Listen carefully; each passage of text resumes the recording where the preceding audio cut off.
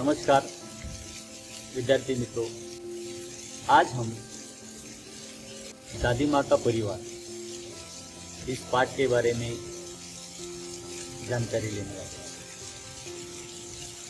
एक छोटे से गाँव में एक दादी माँ रहती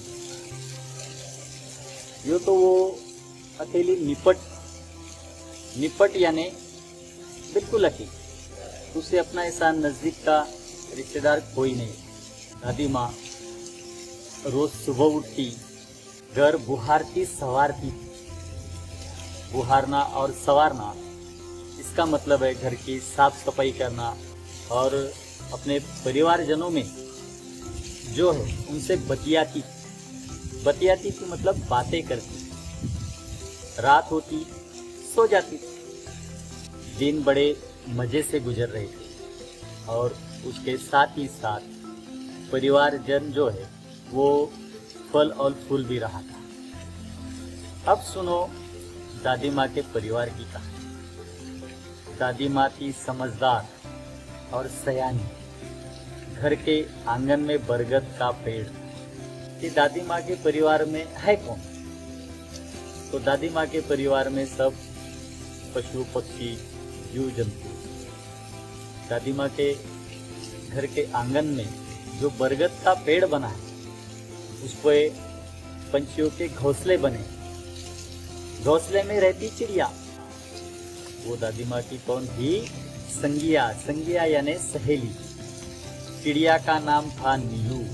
नीलू खुदकती चिंचियाती दादी माँ से बतियाती और उस आँगन में, वो सवारे हुए आँगन में, वो जो नीलू जो है वो खुदकती थी मतलब खेलती थी, कूदती थी, चिंचियाती थी और दादी माँ से बातें करती थी। एक और थी दादी माँ की सातिन, चिंकी चुईया और दूसरी दादी माँ की सातिन कौन थी?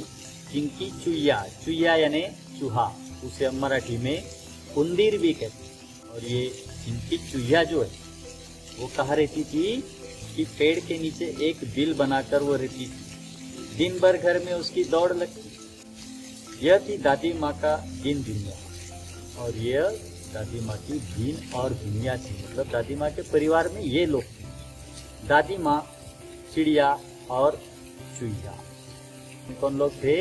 एक खुद स्वयं दादी माँ थी, एक चिड़िया थी और दूसरी चुईया थी। वे सभी यदि खुश होती तो दादी माँ भी खुश थी देखो, परिवार का एक सूत्र यहाँ पर बताया गया है कि अगर परिवार में एक खुश है तो सारा परिवार खुश होना चाहिए। और अगर किसी हमारे परिवार के व्यक्ति पर दुख है तो पूरे परिवार ने उसको एकता से साथ देना चाहिए, उसके दुख में दुखी होना चाहिए या उसे उस दुख से बाहर निकालने का प्रयास करना चाहिए। ये बहुत महत्वपूर्ण सीख। इस पाठ में रमाकांत या कांत जी ने हमें देने की कोशिश की। ठंडी के दिन उन्हीं दिनों नीलू चिड़िया ने अंडे दिए।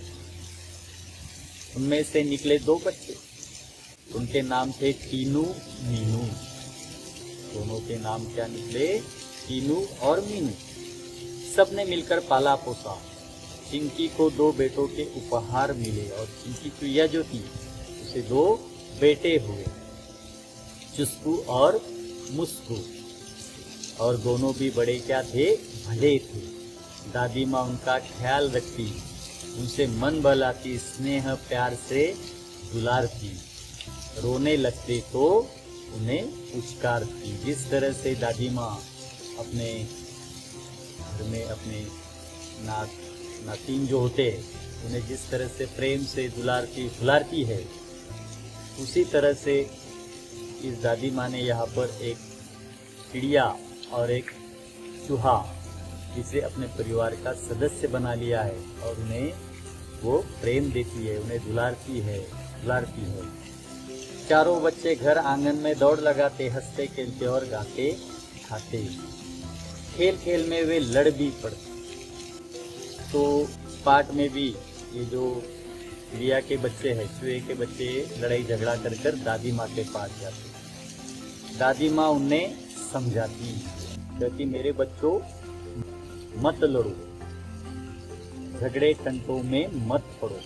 तनिक एकता का ध्यान धरो इस पाठ में ये जो लाइन है, तनिक एकता का ध्यान धरो ये बहुत महत्वपूर्ण बताई गई कि एकता में बहुत बड़ी शक्ति होती है। सबने एक होकर चलना सब मिलकर रहो, रहा करो।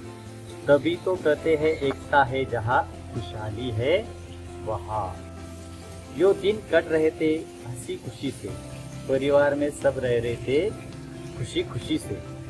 दादी माँ रोज उन्हें समझाती, एकता से उनको लाभ गिनाती और इस तरह से सब हँसी खुशी से रह रहे थे।